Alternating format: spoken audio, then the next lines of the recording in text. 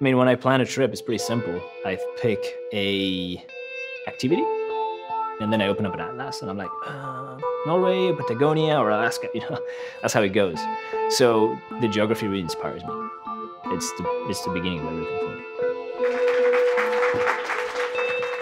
I came here to talk about what it means to me to be adventurous and sort of creative on demand.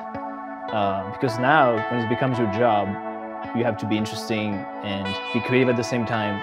Whenever I'm facing a new project, I try to dig in into my childhood. Um, because for me, um, if I'm doing this life, it's because I've always wanted to kind of be free. You know, it, there's always like a little bit or a lot of suffering when getting these images, but I feel like I can tell that, you know, it was hard to get them. And that's again my message is to always go a little bit beyond or way beyond everybody.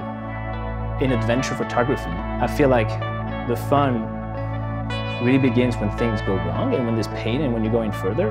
So having all this research in the back of my head when that happens allows me to make a new plan and to get photos with that new plan. When I go somewhere and I find a place that's good, like, okay, I can shoot a photo from here, it's gonna be cool. I'd feel terrible if I did that, just shooting my photo there.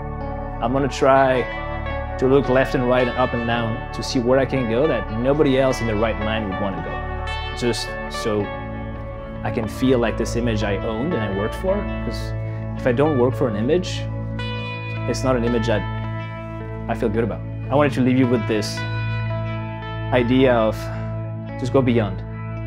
You know, just try to push further than anybody else. Um, just because it gives you more ownership. That's my final notes. Thank you.